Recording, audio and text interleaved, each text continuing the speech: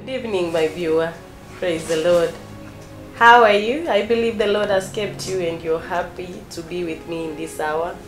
We say that this is the hour of achieving results. When we command the spiritual realm, because we have been given the power, we get results. I bless God for you, my viewer. It's such a blessing to have you on the other side, viewing and leaving your comments down there. It's always it always makes me encouraged and I know that I'm reaching somebody there. May God keep you. May the Lord God always provide for you that you will never miss to watch this program in Jesus' name. Tonight we are going to pray for divine visitation. Divine visitation. I know this is a kind of prayer you've prayed before or you've heard servants of God pray about. But tonight we are going to make it again and it will not be in vain in Jesus' name. Let's have an opening prayer. Our Heavenly Father, in the name of Jesus, I call upon your name as the Lord Jesus said we call you. And I pray that your will be done, your kingdom come, and let there be power as we pray this evening in the name of Jesus. We pray that the Holy Spirit may reign. We pray that His power will be in our mouths as we pray. We pray that He will give us the right words and revelation on how to pray tonight. We ask this believing and trusting in Jesus' mighty name. Amen. So I know somebody is asking, what is divine visitation? In simple terms, this is when God visits man. It can be directly or indirectly. It's so common in the scriptures, in the Bible. Many men of God were visited by God. It is not a common occurrence, I must say, but I believe once in a while or once in every Christian's life, you get that divine visitation. Um, and this is the kind of visit you get after you are prayed so much and you feel like the results are delaying. This is when God remembers. The Bible in the book of Acts talks about the, a man called Cornelius who was very prayerful. And uh, you know, the Bible says that God remembered him because of his good works, his giving, and also his prayer. And he sent a man called Peter to him.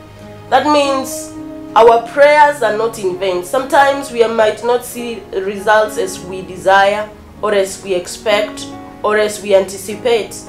But there is always a day of remembrance for everybody that calls upon the name of the Lord. Bible says, and the books were opened, and God remembered. I believe in heaven. There is always that time when God opens the records in heaven, and He remembers those who are diligently seeking. So I would advise any Christian to keep on praying and not to quit. Whether you're seeing results or not, do not give up calling upon the name of the Lord.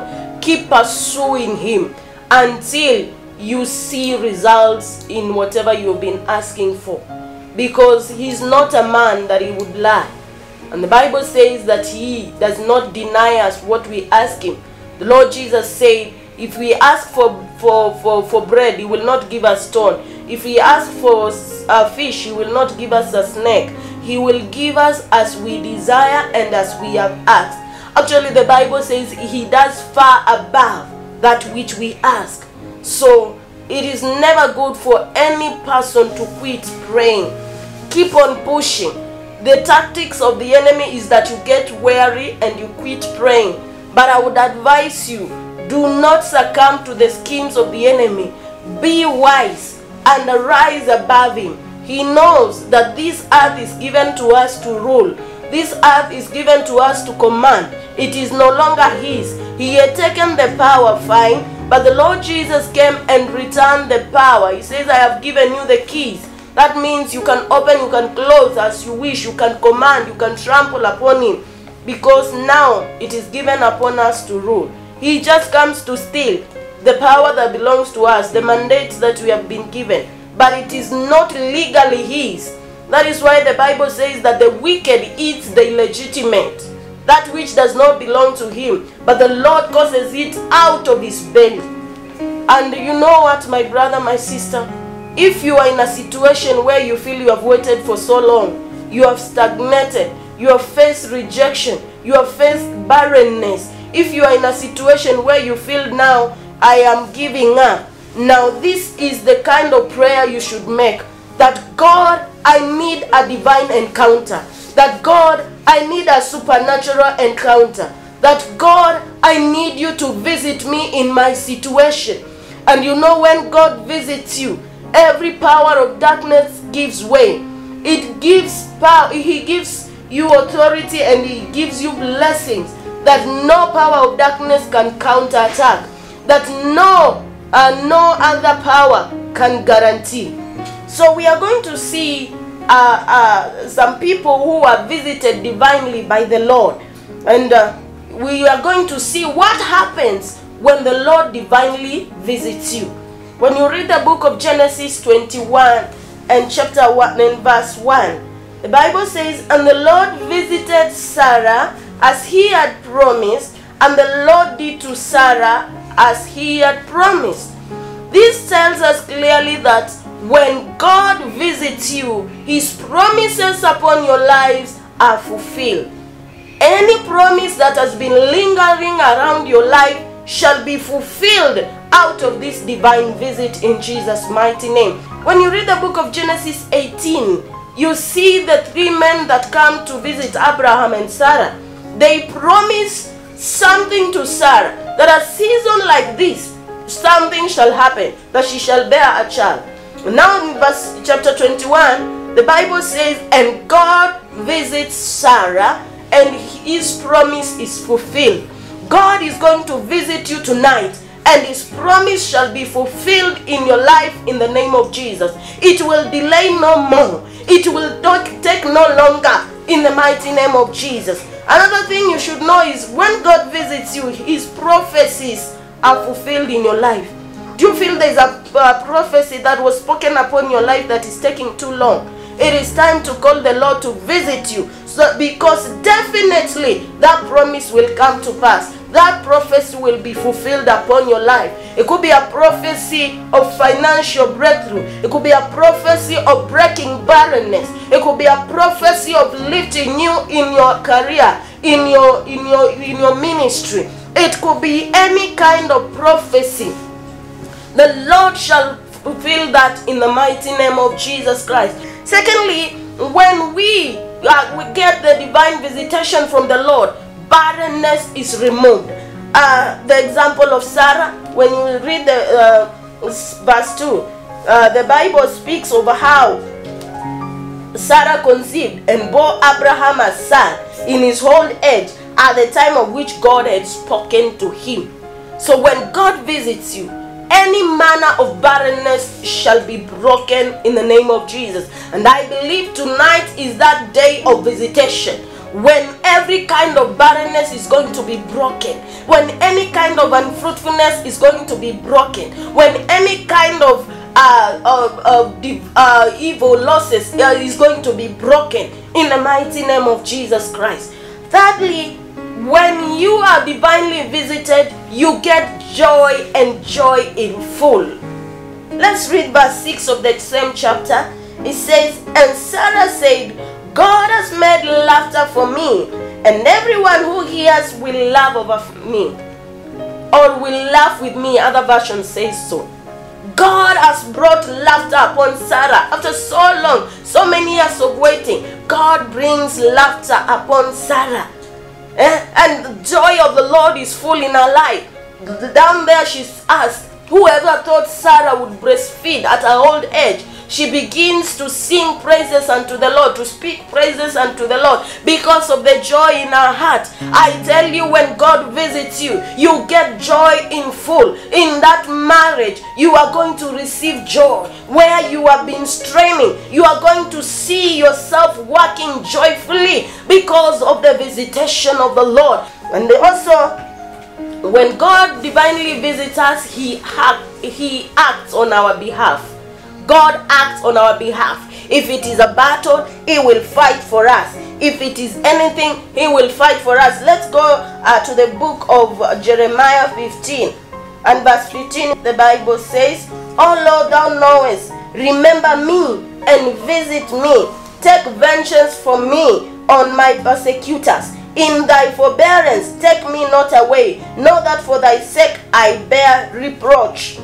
That is the time God remembers you and visits you. Then He takes your enemies as His enemies. He fights for you. He conquers them on your behalf, like He did unto Jehoshaphat. He makes them ashes under your feet. He makes you dying before them. He lays a table before your enemies. The Bible is very clear of how the Lord handles your enemies when He visits you. And tonight, God is going to visit us. We are going to ask Him, like Jeremiah, we are going to ask Him to remember us and visit us and take vengeance against our enemies.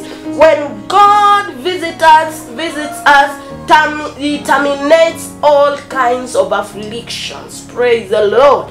What kind of affliction are you experiencing? The Lord is going to visit you tonight and is going to destroy every kind of affliction in the mighty name of Jesus. When the Lord visits us, He restores our inheritance. And that is why the Bible calls us sons. The Bible does not say that He makes us daughters of God. No, the Bible says that whoever believes in the Son, he has been made a son to God, meaning that we are all worthy and entitled to inheritance. Only sons were entitled to inheritance. Read the Bible, read the Old Testament. You will see it is only the sons that were given inheritance. And that is why our God calls us sons, so that we all inherit. Whether you are a male or a female, you are worthy of the inheritance that Christ has promised us. The Bible says that we are co-heirs together with Christ. It doesn't say only the men. It says all of us who have believed in him, we have been made co-heirs. So when God visits you, he restores every kind of inheritance that you have lost. Now, I want us to look at two things that can make us miss out on the divine encounter or divine visitation with the Lord. Number one thing is sin. Sin can make us miss out on that encounter because the Bible says that nothing defiled can stand before the presence of God. And I want us to see what God tells Moses in the book of Exodus, chapter 32 and verse 34. The Bible says, But now go lead the people to the place of, of which I have spoken to you. Behold, my angel, angel shall go before you. Nevertheless, in the day I visit, in the day when I visit, I will visit their sin upon them. Sometimes, because of the mercies of the Lord, which surpasses judgment, the Lord can withhold from visiting you because of a sin. And He knows when He comes, He will visit your sin and His wrath will be upon you. You will suffer. So instead of Him coming at that point, He delays a bit until you repent because it just takes a minute to repent. It takes a contrite heart to be forgiven, it takes a sincere heart to receive that kind of forgiveness. So tonight, probably there is some sin in you. It is delaying the Lord because He's full of mercy. His mercies are new every morning and they endure forever. And it is not in the will of God that we suffer. We don't He doesn't want us to suffer. He wants us to receive the good from Him. As a father, He has his uh, our interest at His own heart. So, my brother, my sister, I want to tell you that it is important we repent of any sin that we know of or we don't know of. God tells the children of Israel through Moses that when I visit them, I will visit their sin upon them. You think when God visits our sin upon us that He's going to compromise? He's going to say, Ah, you had an excuse of sinning? He will say, Oh, you are about to repent? No. He will release His wrath upon us. And He rarely does so because His mercies always speaks on our behalf. So it's another opportunity for you to repent, another opportunity for me to repent so that I can receive that divine visitation. Another thing that can hinder or has hindered many from receiving divine visitation is the appearance. You know, the appearance that God comes with. Sometimes when I, even now I know as I'm talking about, about divine visitation, somebody is just thinking about that angel with a sword coming directly and visiting you. But God has different appearances when He visits man. See how in the book of Genesis 18 he visits Abraham. There appear to be three men. They are just men who are walking, who have dusty feet. But Abraham was able to tell these are men or these are angels, these are sent of God. This is not an unusual visitation. This is a different visitation. Many times I believe God has come in that appearance that which we do not expect. We expected him to send an angel to come to speak to us, to come to speak to our situation. But God uses a, a, an avenue that we didn't expect. And because we didn't expect him to come that way, we miss out on him. We miss out on our breakthrough. We miss out on our visitation. See how even Jesus comes. He's born in a manger. He's not born in a maternity. He's not born in a hospital. He comes with a very humble uh, appearance. Nobody was ready to receive such a king born in a manger. Who has ever heard of that? But that is the way God uses to introduce His Son into the world. Sometimes our pride has kept us away from receiving that divine visitation. No, the Bible says that we be hospitable because in doing so, some have received angels. Maybe that brother, that sister that you have been looking down upon is your is the divine answer that you've been asking for. You've been crying for a spouse, you've been crying for somebody to, to get married to, to marry you, and that God has a way of packaging things in a way that we don't expect. Unless we have the spiritual eyes or we ask God to give us that spiritual eye, we will miss out on the divine visitation. And tonight, number one, we are going to pray and ask for forgiveness for any sin that might be hindering the Lord from visiting us from coming to touch us, from coming to change our lives, from coming to elevate us. We are going to repent. We are going to humble. We are going to ask God to show mercy upon us. Secondly, we are going to ask the Lord to help us not to miss out on that divine helper that He sends our way that we will not miss divine encounter that we will not miss out on the on the help that he has sent our way we are going to be spiritually alert, alert. we are our eyes are going to be open to see that this is a man this is a woman sent to me to elevate me to take me to another level to carry me until i reach my destiny thirdly i want us to pray that any kind of hindrance in our lives any kind of avatars of our visitation.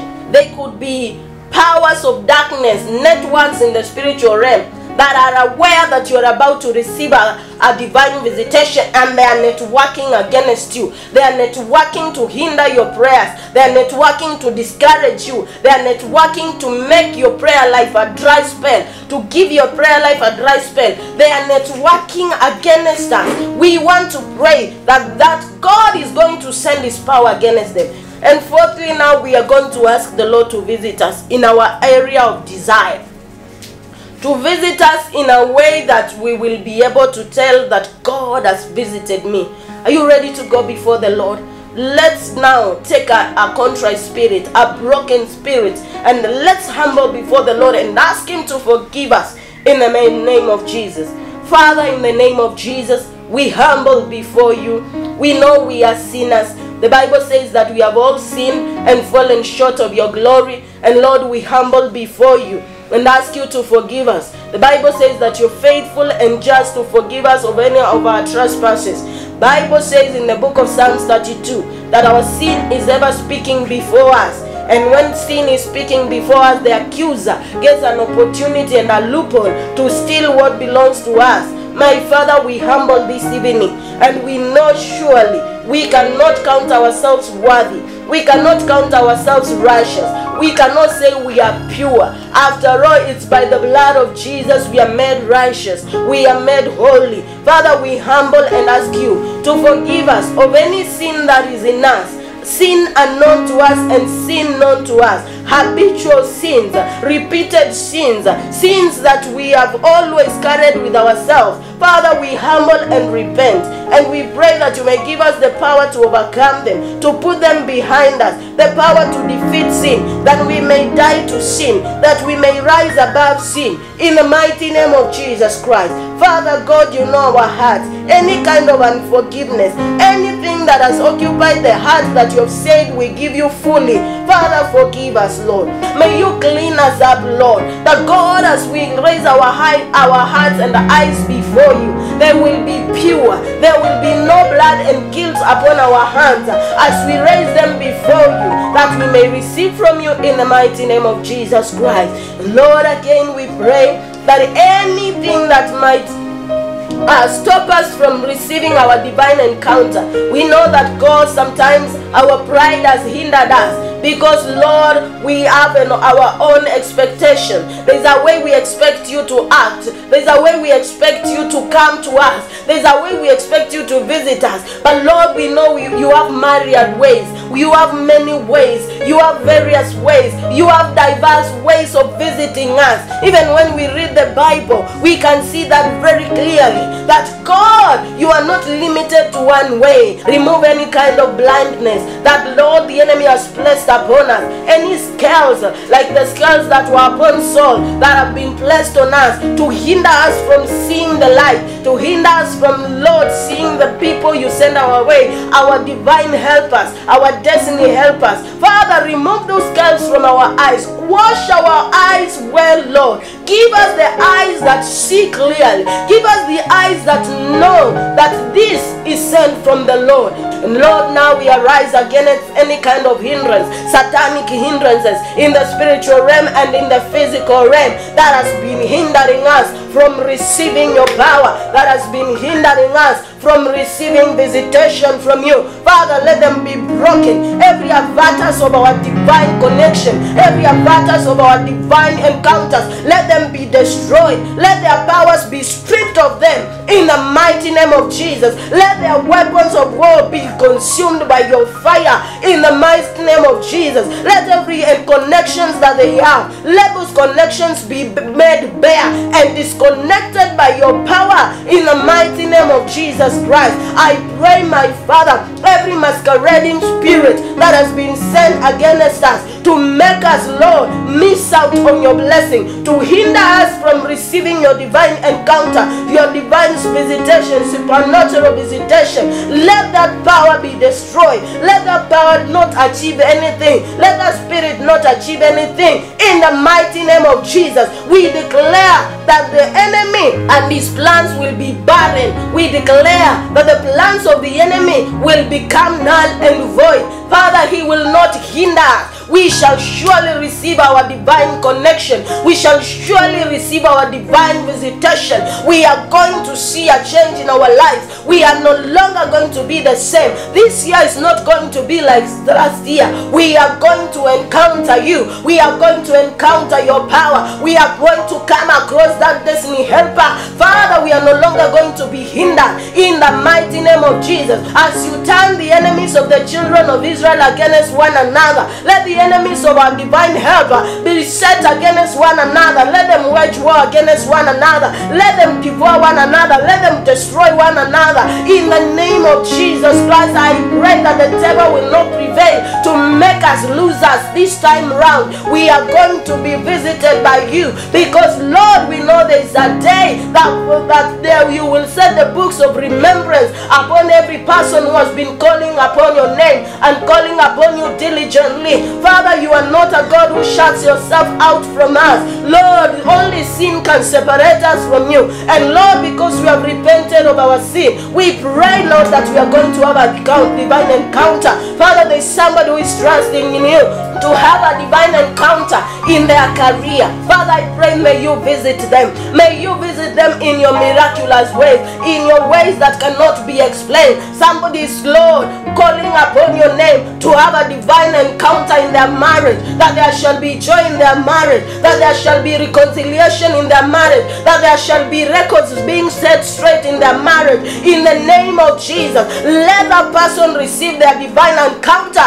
tonight in the name of Jesus. Lord, as you send that divine encounter, let barrenness be broken, let stagnation be broken, let unfruitfulness be broken, let any kind of losses be destroyed in the mighty name of Jesus. Father God, there's somebody who is expecting a divine encounter to receive healing wherever they are lying. Father, I send that healing now. That healing power, let it flow through the media and to them where they are expecting. Father, calling upon your name, let that power reach out to them. Let that power reach out to them in the mighty name of Jesus.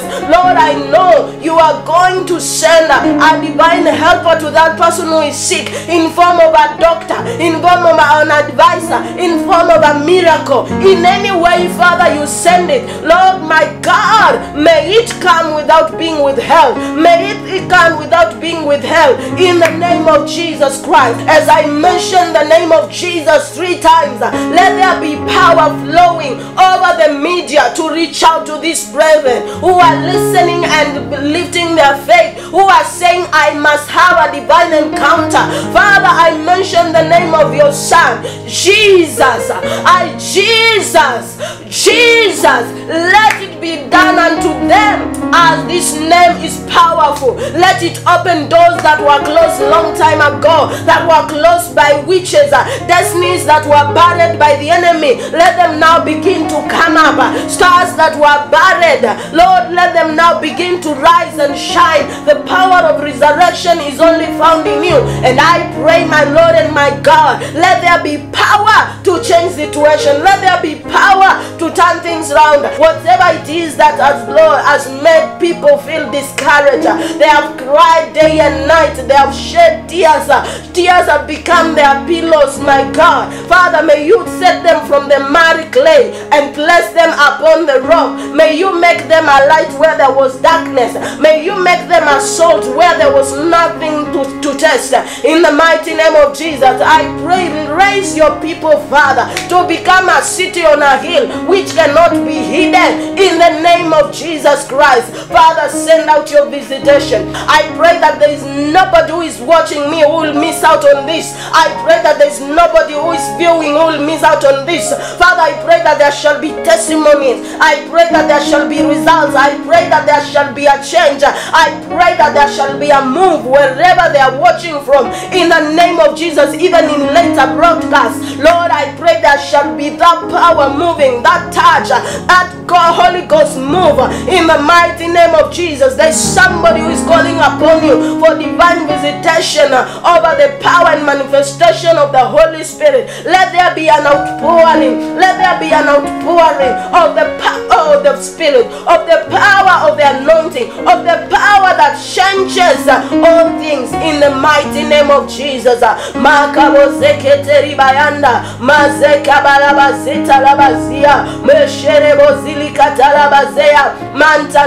Ozia manta. You say we call upon you and you shall show us grace and mighty things that we know nothing about. Let it be upon us as we call upon you tonight. Kabore. In the name of Jesus Christ. Lord, I want to thank you for what you have done. Thank you for that power that you have already released. Thank you for that move. Thank you for this coming testimony. Thank you for this coming breakthrough. Thank you for the divine visitation, divine encounter. Thank you, Lord, for the supernatural encounter. Thank you for the supernatural addition, supernatural breakthroughs, miracles, jobs being provided. Let there be glory and honor in the mouths of your children as you release these supernatural miracles, supernatural blessing, supernatural power. In the name of Jesus, I worship your name, Lord. I know what you are able to do. No eye has seen and no ear has heard. And this is what I ask tonight upon everybody that is viewing in me, upon everybody that has been waiting upon you, upon everybody that has been calling upon your name. Father, let them have an encounter that will turn their lives around. Lord, you are going to take away ashes and put the crown of praises upon the heads of the believers in the mighty name of Jesus. Oh, what a wonderful thing to serve you, God. For we know we shall never lack anything good. What a wonderful time to be in your presence. For we know we can never come out empty handed. But God, we are going to receive as you have spoken upon our life. Prophecies shall be fulfilled, promises shall be fulfilled, joy shall be in full. We are, you are going to fight our battles. You are going to take vengeance against the enemy on our behalf. You are going to outpour yourself upon us in the mighty name of Jesus. We are no longer going to be delayed, but everything is going to come on time and at the right time in the name of Jesus. Father, I bless you. Father, I glorify you. I worship you. I honor you. And together with my viewer, we say, Amen. Amen. May it be done in your life as you believe. May you not miss out on this divine encounter tonight. As you go to sleep, may you experience the power of the Lord. As you wake up tomorrow, may you experience the power of the Lord. As you go to work on Monday, may you receive that destiny helper. May you receive that one client that will change your life. May you receive angelic visitation in the mighty name of Jesus. May you begin to hear the voice of the Lord. May you begin to receive great revelation in the name of Jesus. God bless you. God keep you. And may his face shine upon you. May he lift you up where people will look up to you. In Jesus' name. Until we meet again at the same hour on Saturday from 10 to 10.30. May God bless you. Amen and amen.